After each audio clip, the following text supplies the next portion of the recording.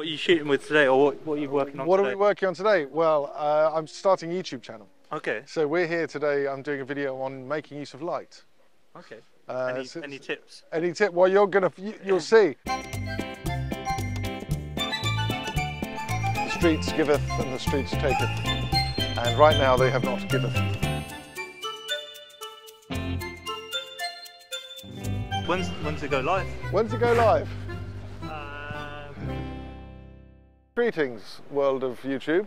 I'm Alan Schaller, and here we are in Hyde Park. And today's video, as you may have gathered from the title, is about light. How I like to use light in particular.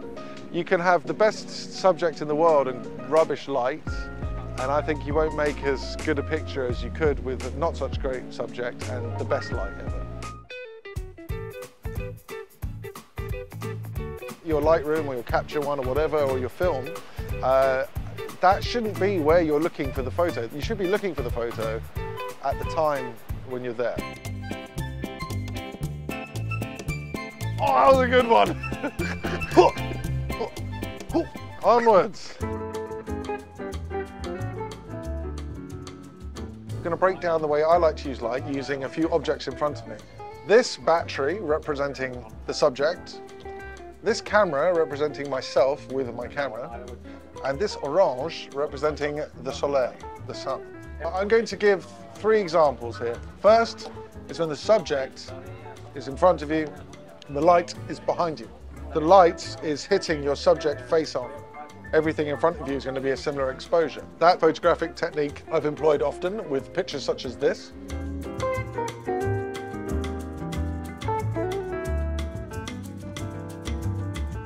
I've often found myself using light behind the subject uh, as, the, as my kind of signature way of, of, of shooting. It's where the subject is here, where the camera is here, facing this way, and the light is here. You're shooting, you have to expose for the sun. It's, it's often called cinematic lighting because in cinema, a lot of the time, there'll be a light placed behind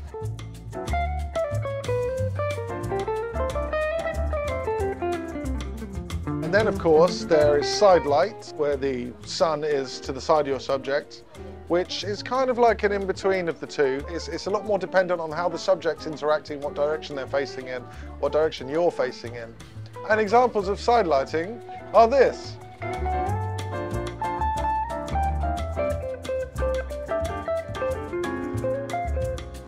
Another important thing about using light, the, the position of the sun in the sky to your subject. So when the sun is high up above your subject, you're going to get a lot shorter shadows. It's a much harsher kind of condition.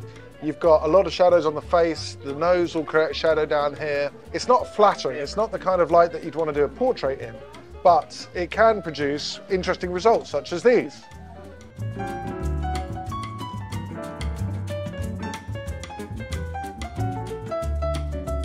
And the magic is winter when the sun never goes above the kind of midpoint in the sky. When the, the lower the sun is, the longer the shadows become and the more intense the highlights become as well. So the, the light around your subject, you end up getting those super high contrast uh, rim light effect shots.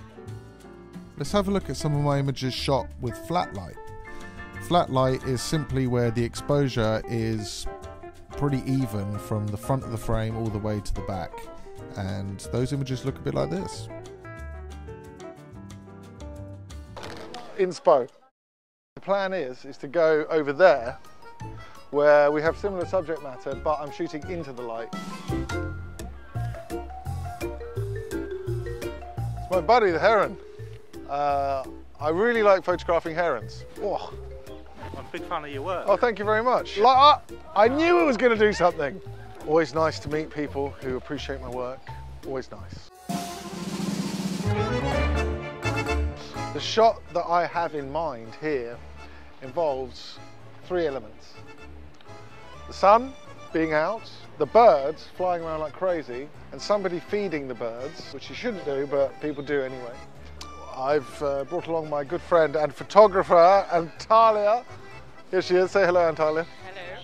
thirdly, me in the right position, which is probably going to be crouched down with a very wide lens. So here I'm using a 16, 1 6 millimeter. I want to get the birds, the mania, the action, and the light all streaming in to make a kind of cool shot. Okay, yeah, this is good, this is good. Come on, birdies. Hold out a nice long bit of croissant. Go on, courage now. Okay, we need more mania. Do I get crash on there? We go, now hold it out, hold it out. Bigger bit, bigger bit, bigger bit. Yes! And again, here we go, here we go, here we go, here we go, here we go. Yes! Oh, oh. oh it peed on me. so that's proper backlight. Now do an example of side light. The light, look, look straight ahead, see the light? Room lights. This, this light here is what I'm going for. What's important, so I've got the sun coming in this angle, but the bit that's crucial is that this area in the background is shadowed. So you can generate massive amounts of contrast here. So check this out. Thank you. So what I'm doing is I'm metering off the brightest point, which is probably this part for him.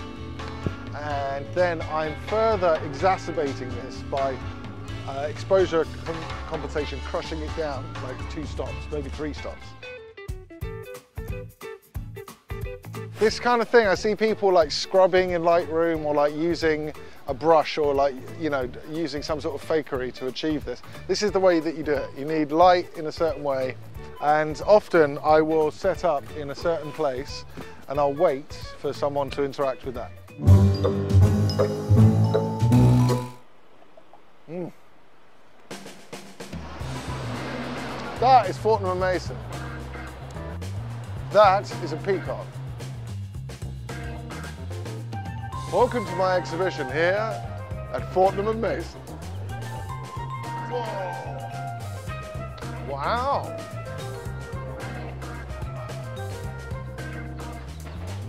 So here we are in the three and six bar on the third floor at Fortnum and Masons. Might be worth noting that there's still going to be reflections from around the room.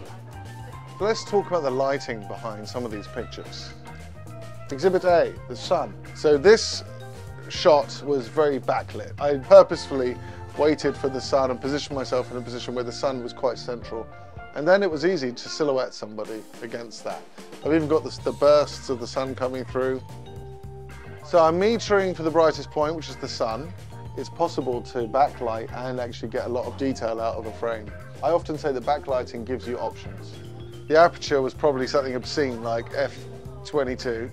I like low sun. When the sun's up here, it's it just offers a different kind of shot, but I, I really love the low sun look. And uh, most importantly, it's for sale.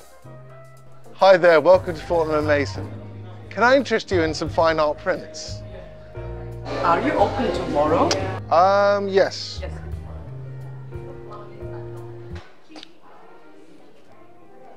This is a photograph that I called laser vision for obvious reasons. To set the scene, I was um, on the south bank. I spotted this triangle of light. I knew instantly that I wanted to align someone's eyes with this.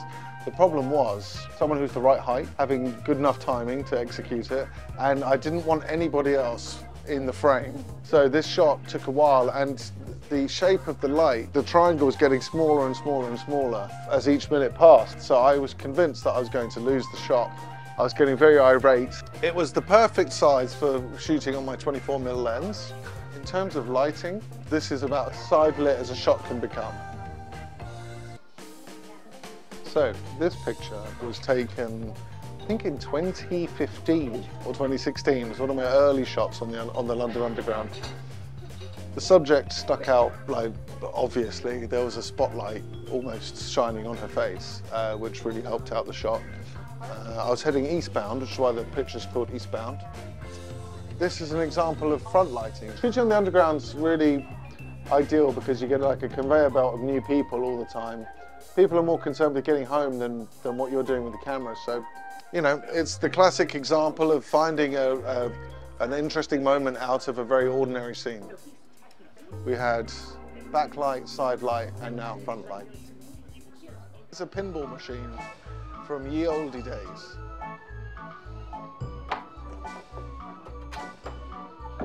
Two points. The more that you understand what it is that a certain lighting can provide you, the better you become as a photographer. And it's something that I'm learning every time I go out. It's something you can never, ever, ever feel like you've mastered. On a day like this with the sun out, there's a certain selection of images that we can get. On an overcast day, there are other kinds of images that are available. That way I can you know, try and create my look and my style and, and, and, shoot in any kind of weather conditions, any time of year, any part of the planet I'm on. Don't know what, this is the best thing ever doing it. I love it. Bloody love it. Comment, like, and subscribe.